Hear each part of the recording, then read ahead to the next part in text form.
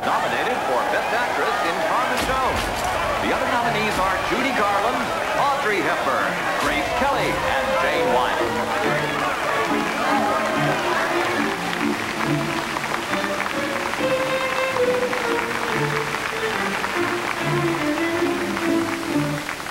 Thank you, Bob.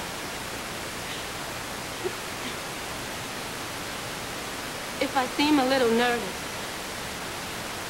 this is as big a moment for me as it will be for the winner of this award. For film editing. In Hollywood, on the waterfront, Gene Milford.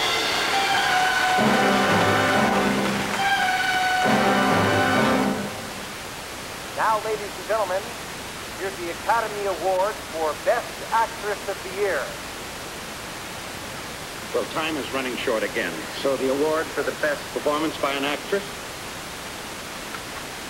Grace Kelly for the country.